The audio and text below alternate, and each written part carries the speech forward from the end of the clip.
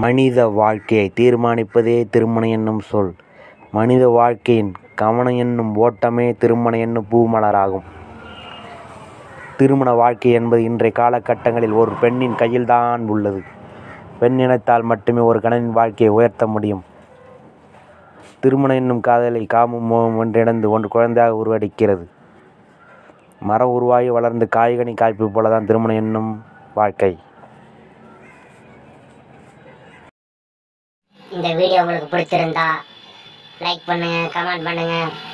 கீழே உள்ள சப்ஸ்கிரைப் பட்டனை அழுத்தி பக்கத்தில் பெல் பட்டனை அழுத்துங்க. நன்றி வணக்கம்.